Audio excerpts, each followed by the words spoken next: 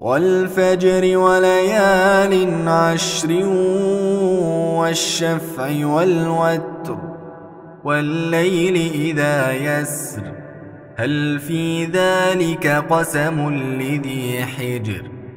ألم تر كيف فعل ربك بعاد؟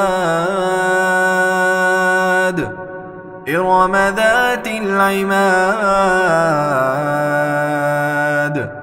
التي لم يخلق مثلها في البلاد. وثمود الذين جابوا الصخر بالواد. وفرعون ذي الأوتاد. الذين طغوا في البلاد. فأكثروا فيها الفساد فصب عليهم ربك سوط عذاب إن ربك لبالمرصاد فأما الإنسان إذا ما ابتلاه ربه فأكرمه ونعمه فيقول فيقول ربي أكرمن وأما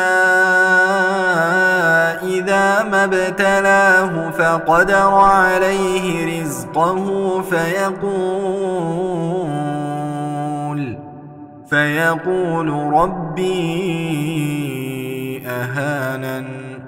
كلا بل لا تكرمون اليتيم ولا تحاضون على طعام المسكين وتأكلون التراث أكلا لما وتحبون المال حبا جما كلا إذا دكت الأرض دكا دكا وجاء ربك والملك صفا صفا وجيء يومئذ بجهنم يومئذ يتذكر الإنسان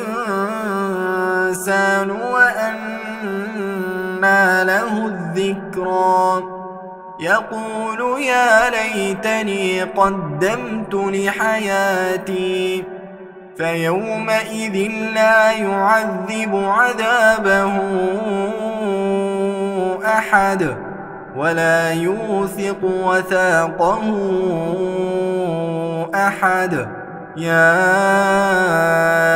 أيتها النفس المطمئنة. ارجعي إلى ربك راضية مرضية. فادخلي في عبادي وادخلي جنتي.